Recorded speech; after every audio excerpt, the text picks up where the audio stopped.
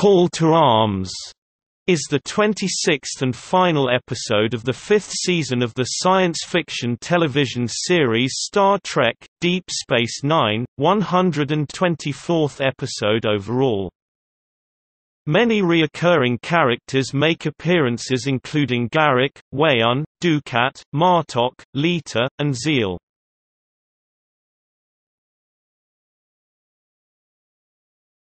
Topic. Plot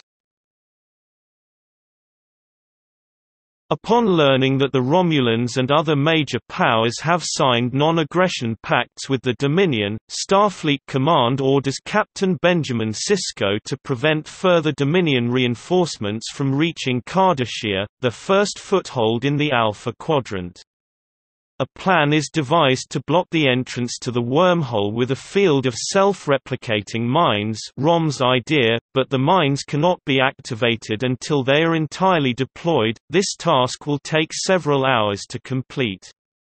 Shortly after deployment begins, Weyoun declares that Deep Space Nine will be attacked unless the mines are removed. Knowing that Starfleet reinforcements are unavailable, Sisko asks General Martok to patrol the border while the Defiant continues deployment. Sisko also notifies Kira that he will endorse the non-aggression pact offered to Bajor by the Dominion, in the hope that it will keep Bajor out of the coming fight and in turn, war. Rom and Leeta are married by Sisko in his capacity as the emissary and a Starfleet captain.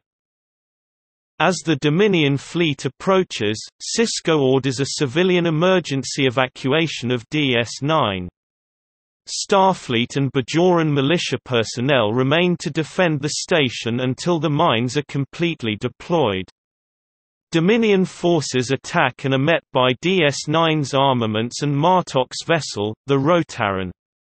After the minefield is activated, Sisko orders the Starfleet personnel to evacuate as well. The Bajoran militia remains aboard the station, as do Quark, Rom, Morn, and Jake Sisko, who intends to serve as a reporter for the Federation News Service while the station is occupied by the Dominion.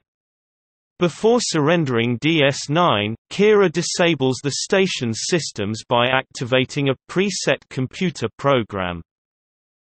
Sisko informs the Starfleet personnel that while the station was being captured, a combined Starfleet-Klingon task force had wiped out the Dominion shipyards in the Alpha Quadrant.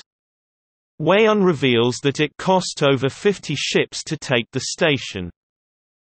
Aboard the Defiant, Sisko is informed that Jake is not aboard and must still be on DS-9. O'Brien asks whether or not they should go back for him. An angered Sisko responds that he can't risk the ship and its crew for one person, even if he is his son. He is a man. Sisko reasons as he slumps back into his seat and says, Maintain current course. On Deep Space Nine, Kira, Odo, and Quark welcome the Dominion aboard the station. Afterwards, Gul Dukat reclaims his old office in Ops, where he notes the baseball left behind, a message to him that Sisko will return. As Sisko faces the viewscreen with a defiant glare, the Defiant and Rotarran circle around to join the massive Federation, Klingon task force.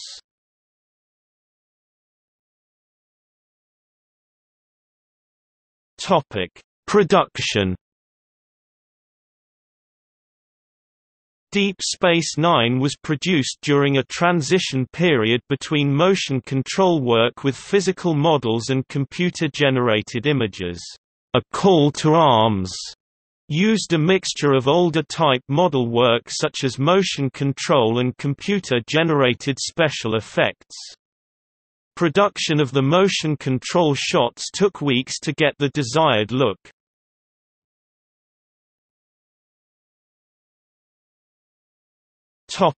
Reception.